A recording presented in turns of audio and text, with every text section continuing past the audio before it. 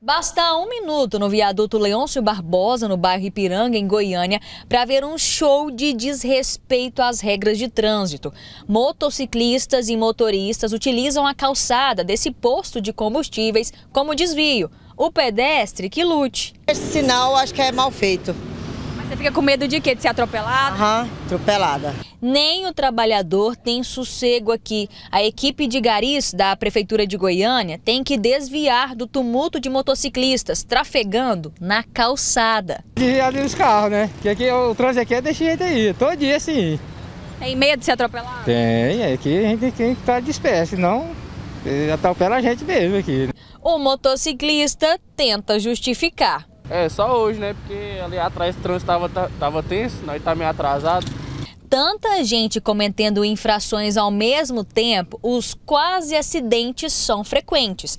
Esse motociclista, por pouco, não foi prensado no guincho por causa desse carro que cortou o trânsito pela calçada. A viatura da Polícia Militar, por muito pouco, não atingiu esse caminhão, que também tentava cortar o fluxo pela calçada. Os dois estavam errados. É, só que esse jeitinho para tentar desviar do trânsito pode pesar no bolso. Trafegar em calçadas e em passeios é infração gravíssima. O motorista perde sete pontos na carteira e pode pagar uma multa de 880 reais. Além de utilizar a calçada como desvio, muitos motoristas sequer respeitam o sinal vermelho. A região é um dos pontos de maior fluxo de Goiânia, porque é o encontro de motoristas que saem de outros municípios, como Trindade, pela GO 060, e Goianira, pela GO 070. Os condutores acessam a Castelo Branco e a Avenida Anguera por aqui também. Além disso, é linha do transporte coletivo. Tem tráfego intenso de ônibus do eixo Anhanguera, articulados e biarticulados, além das linhas alimentadoras, que vão direto para o terminal Padre Pelágio.